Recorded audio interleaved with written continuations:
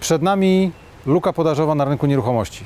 Takie zjawisko, o którym niewiele dzisiaj osób jeszcze myśli, natomiast y, powinniśmy się go spodziewać w perspektywie kilku, kilkunastu miesięcy. O co chodzi?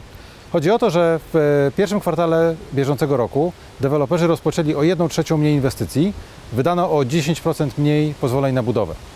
Czytaj, nowe inwestycje się nie rozpoczną w takiej liczbie jak poprzednio, żeby zaspokoić popyt, który jest e, stały i się utrzymuje na mniej więcej podobnym poziomie. E, Czeka nas e, okres przynajmniej kilku, kilkunastu miesięcy, kiedy e, tej podaży będzie zdecydowanie mniej. I zamiast spadków cen, które prognozuje wiele osób, trzeba się raczej spodziewać skokowego wzrostu cen, dlatego że po prostu nie będzie czego kupować.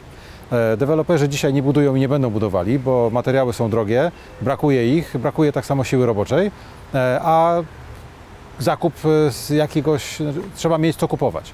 W związku z czym, drogi inwestorze, jeżeli myślisz o tym, żeby kupić e, mieszkanie, nie czekaj z tym, e, tylko działaj, póki jeszcze można negocjować ceny i póki te mieszkania są w ogóle dostępne.